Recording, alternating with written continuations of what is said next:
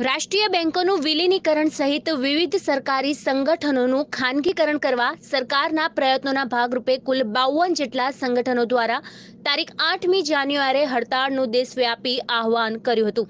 જેથી બુધવારે બેંકો સહિત એલઆઈસી પોસ્ટ ઇન્કમ ટેક્સના કર્મચારીઓ પણ હડતાળમાં જોડાયા હતા. હડતાળને પગલે સુરતની દસ રાષ્ટ્રીયકૃત બેંકોની ત્રણસો પચાસ શાખાઓમાં કામકાજ પર અસર પહોંચી હતી. સુરતની સરકારી, ખાનગી અને સરકારી સેક્ટરની કુલ પિસ્તાળીસ જેટલી બેંકોની સાતસો પચાસ બ્રાન્ચ થકી એક દિવસમાં કુલ આઠસોથી નવસો કરોડનું ચેક અને કેશનું ટ્રાન્ઝેક્શન થાય છે.